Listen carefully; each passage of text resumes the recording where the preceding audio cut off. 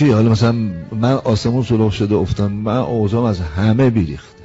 توی منزلی تهران یه جلسه ای بود صحبت می‌کردیم از منبر اومدم پایین کسی تو حیات اون منزل به من رسید گفت آقا من نماز شب می‌خونم می‌تونم تو نماز شبم شاه و دعا کنم. بهش شما منو دعا می‌کنی؟ خیلی اظهار محبت به من می‌کنه.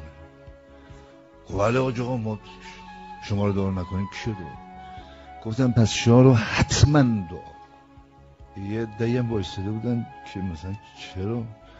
گفتم برای اینکه نکنه او هر کاری کرد با دین مردم بازی نکرد.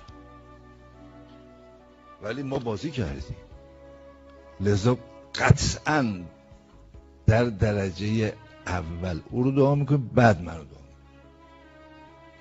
میشه مثلا چی ما تو این لباس فقط داریم با دین بازی اگرم تو این زمینه بلغزیم اوزامون از همه بیریخته. چی حالا مثلا حاجه التماس دعا؟ برو آقا همه تون اوضاعتون ردیفتر از من. یکی دست منو بگیر.